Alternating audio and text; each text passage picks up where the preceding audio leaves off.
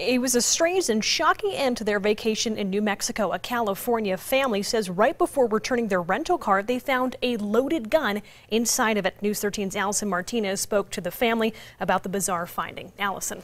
Madeline Julie Mendelson says they cleaned out the car just hours before they were going to turn it in.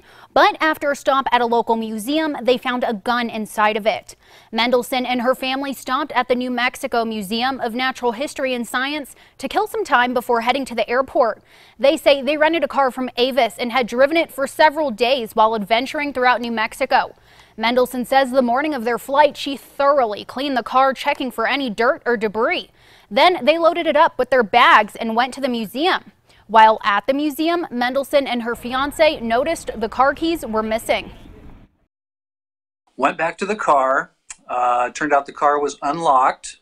The keys were not in the ignition, so I started to search the car, starting on the driver's side and working my way around. Casey Craig, the fiance, claims he saw something sticking out from under the seat of the passenger side of the car. It was a loaded gun.